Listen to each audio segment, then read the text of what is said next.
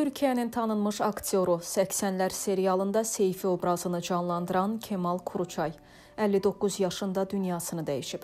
Aktyor çəkiliş meydançasında infaq keçirib. Kuruçayın ölüm xəbərini aktyor Nedim Saban sosial şəbəkədə paylaşıb. Çox istedadlı bir aktyor, çox yaxşı insan idi. İki oda bir Sinan tamaşasında birlikdə işləmişdik. Böyük sevgi ilə peşəsinə bağlı idi. Çox pis oldum.